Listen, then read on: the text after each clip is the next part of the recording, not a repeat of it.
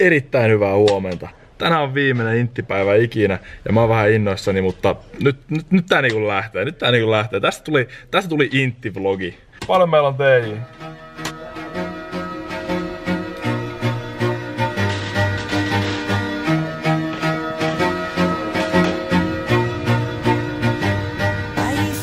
Mitä tässä on tapahtunut? Kello on tasa yhdeksän, eli vielä muutama tunti jäljellä. Ja katsotaan tätä meidän kaappia, niin siellä ei ole enää puolustusvoiman materiaaleja. Äijät, se oli siinä. Armeija suoritettu. Nyt ei mitään muuta kuin vapaata elämää. Kiitos kaikille.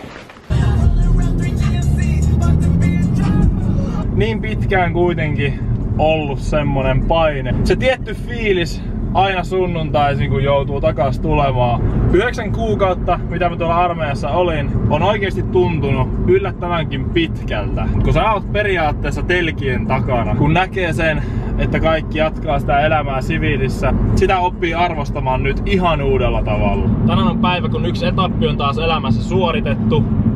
Joten mä aion juhlistaa sitä tänään. Mun tyyli, miten mä juhlistan sitä tänään, on se, että mulla on euforinen ja erittäinkin tehokas, hyvä, pumppirikas rintatreeni. Dietit on ohi, intti on ohi, elämä edessä ja tästä se lähtee. Kotiin on nyt saavuttu ja voin kertoa, ai että tuntuu hyvältä muuten olla kotona. Ja seuraavaksi meillä on päivän lempparikohtaus, eli treeni. Mä heitän lisäravinteet, Mennään hakemaan Elmer ja sen jälkeen luvassa vapauden rintatreeni. Me ollaan tänne ulkomaalainen vahvistus. Musta muuttuu Antonin värinä. Siis vitsi mä haluaisin olla ton värinä. Siis pitäisikö me oikeesti käydä ottaa jatkossa tommonen väri? Ja suihkurusketus. Mm, suihkurusketus joka viikko. En tiedä, mä mieluummin muuttaisin jonnekin lämpöiseen maahan, voisi joka päivä olla auringossa alasti. Mä oon tässä juuri lämmittelemässä. Siitä meidän ei tarvitse kuvata, koska ketään ei kiinnosta mikään lämmittely. Kaikkia kiinnostaa vaan se, että mitä me nostetaan, isoja painoja, ja niitä me tullaan tänään nostelemaan. Eikö oo? Tänään on juhlareeni. Tänään on mun juhlareeni, koska niin kuin sanoin, mä, oon- mä oon vapaa mies. Meillä on rintapäivä. Mulla on illalla oottamassa. No ehkä mä saatan, syödä tänään sittenkin vähän jäätelöä myös.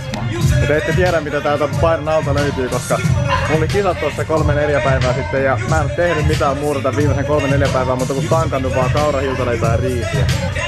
Mun kehonkuva häiriö on taas tullut takas sen verran, että mun piti aloittaa oppi niin kuin mä aloitinkin, mutta yllättäen yllättäen mä kävin Intissä vähän laskemaan taas kaloreita ja mä oon sitä 2600 ja 2700. Kirjoittakaa kommentteihin, että Nuutti, nyt lopetat ton vitun diettaamisen ja käyt tekemään oikeesti lihaa, koska sitä sä tarvit. Ei sun... Sä oot jo laiha, sä oot jo laiha, niin koita nyt tehdä lihaksi eka. Mä aion näyttää päivä päivältä paremmalta. Mä en oo ainakaan yhtään aio helpottaa Nuutin kehokuvahäiriöä. Tää just. Ehkä mä otan seuraavaksi tavoitteeksi vaan sen, että mä oon helvetisti vahvempi kuin sä. Sitten mä voin aina niinku perustella sen, että sä tulet silleen viereen näytät sun vatsalihaksi, niin mä voin ottaa silleen 50 kässärit ja olla silleen Flex up, stretch out, big bands, whoa whoa. Flex up, stretch out, big bands, whoa whoa. Flex up, stretch out, big bands, whoa whoa. Flex up, stretch out, big bands, whoa whoa. Flex up, stretch out, big bands, whoa whoa. Go tell the cops, I bet you ain't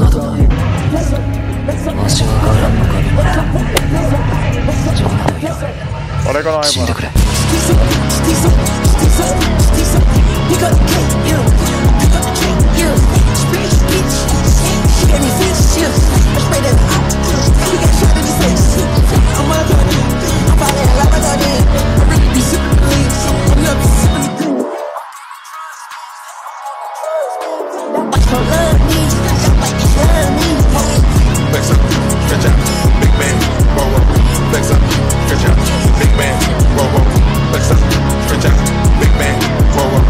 Flex up, stretch out, big bands, whoa whoa. hajusuolamies oli tainnut käydä täällä viime viikonloppuna ja se jätti Instagramiin mulle viestin, että Respassa odottaa tämmönen jonkin näköinen juttu. Mä voisin kuvitella, että täällä on ehkä sitä hajusuolaa. Metsä. Tuska. Sampa. Tääkin on 4 kautta 5. Eikö siellä ole mitään semmosia entry level aloittelijoiden hajusuja? En mä tiedä, tääkin on 4 kautta 5. Ja routa. Kiitoksia hajusuolalle. mä voisin testaa jotain. Mitä me testataan sarjassa?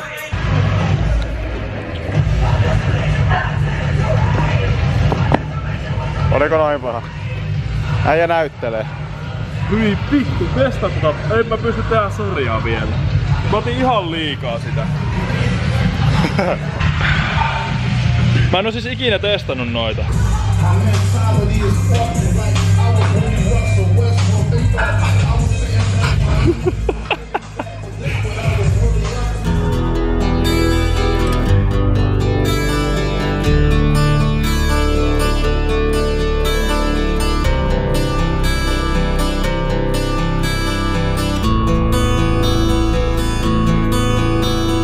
No one knows what it's like bad man,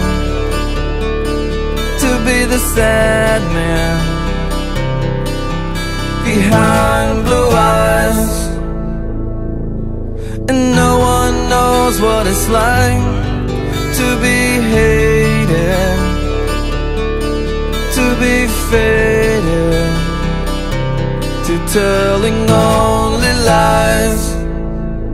But my dreams,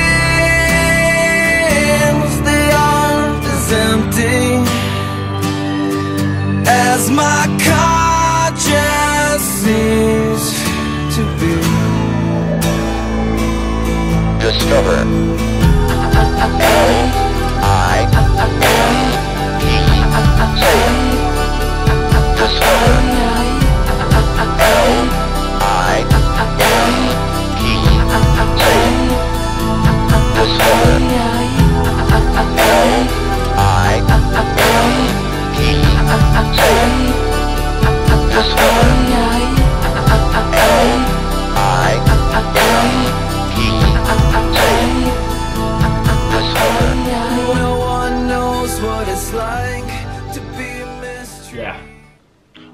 Seuraavan päivän parissa.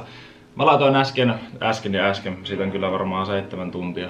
Mutta kuitenkin, mä laitoin Instagramiin linkin, mistä te pystytte kysymään multa anonyymejä kysymyksiä.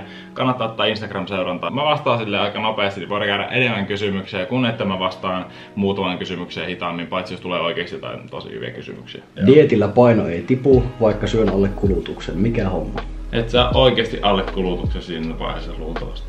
Aika simppeli sanottuna näin. Jos sä oot dietillä ja paino ei tipu, niin tiputa niitä kaloreita enemmän.